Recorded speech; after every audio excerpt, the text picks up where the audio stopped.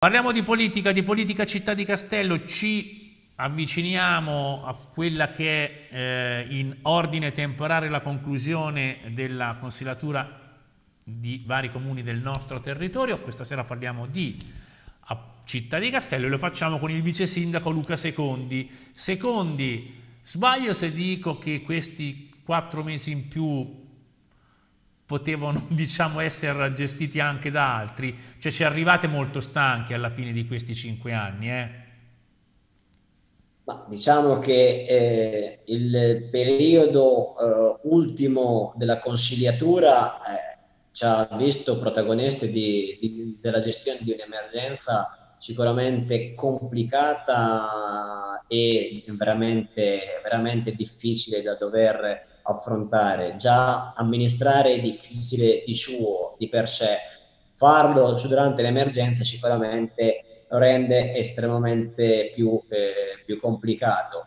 Eh, purtroppo questi mesi che noi attualmente ancora affrontiamo, li affrontiamo su un periodo, come vede bene, ancora di emergenza, dove purtroppo ancora il, la campagna vaccinale non ha prodotto i suoi frutti e quindi continuiamo a dover gestire da una parte l'ordinario della pubblica amministrazione, da una parte quello della prospettiva ovviamente che deve essere sempre messa in campo, ma dall'altra eh, con eh, la pesantezza di dover gestire anche la fase dell'emergenza. E allora le faccio una domanda, non voglio sapere se si candiderà o meno, se farà parte della contesa o meno, ma ne, lei nasce civico, area di centro, cattolico e moderato. Si fa tanto parlare di centro a Città di Castello come in vari in altri comuni perché potrebbe, uso il condizionare, essere il centro no? in un eventuale secondo turno essere determinante con i propri voti per eleggere il prossimo sindaco e allora io mi faccio una domanda. Che caratteristiche dovrà avere il centro per essere, diciamo, di forte appeal per gli elettori e soprattutto secondi per avere un qual certo peso specifico secondo lei?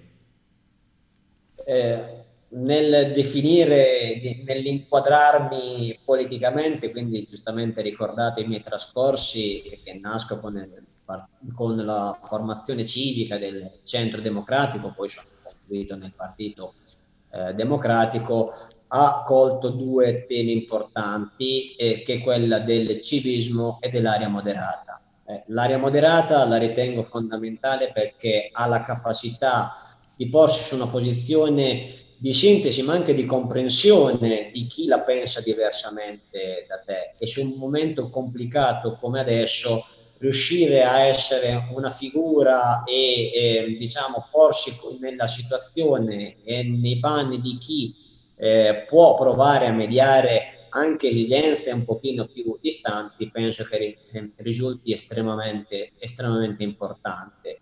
Il civismo lo leggo soprattutto nella capacità di eh, interfacciarsi eh, non ideologicamente con la propria, la propria comunità e penso che un elemento sostanziale è quello legato al saper, saper dialogare con quello che è il terzo settore. Molto spesso le esigenze dei cittadini vengono soddisfatte anche attraverso eh, il sistema dell'associazionismo, quindi quell'energia viva che già esiste nella comunità in qualche modo deve eh, sapersi farsi anche istituzionale e questo eh, attraverso eh, un'azione civica, un impegno civico, eh, questo può essere eh, portato, portato avanti. Quindi penso che queste siano le caratteristiche fondamentali che eh, il mondo moderato e civico deve mettere in campo. Ovviamente per quello che riguarda me lo vedo eh, collocato all'interno di una collocazione di centro-sinistra perché ritengo fondamentale eh, per appartenenza politica, per convinzione politica, il tema quello della giustizia sociale, un tema fondamentale da dover perseguire, che era importante prima della pandemia e sicuramente sarà molto più importante anche dopo la pandemia, dove il tema della giustizia sociale penso che sia di rimedi.